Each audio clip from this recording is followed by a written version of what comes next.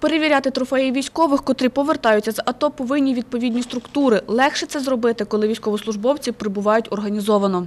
Якщо військовослужбовці прибувають централізовано там, залізничним транспортом е, і висаджуються в районі е, залізничного вокзалу, відповідно там працюють патрулі як Національної поліції, так і військової служби правопорядку, які е, здійснюють огляд особистих речей військовослужбовців з застосуванням як візуально, так і застосуванням відповідних металошукачів.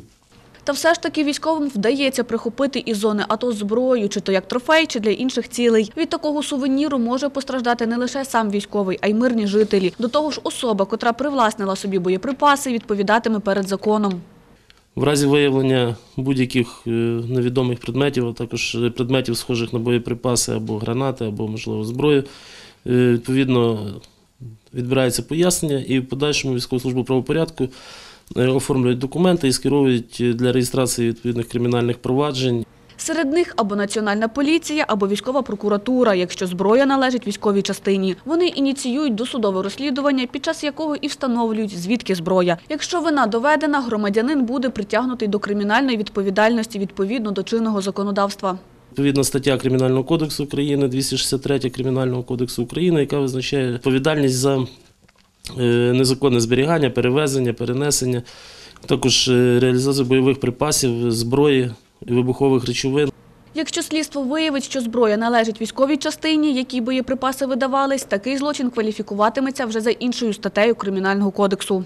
Військовою прокуратурою Хмельницького гарнізону розслідується кримінальне провадження стосовно військовослужбовця, який, будучи в відпустці, був е, перевірений військовослужбовцем військової служби правопорядку, та в його особистих речах було виявлено 5 предметів, схожих на гранати РГД-5, і відповідно запали до них.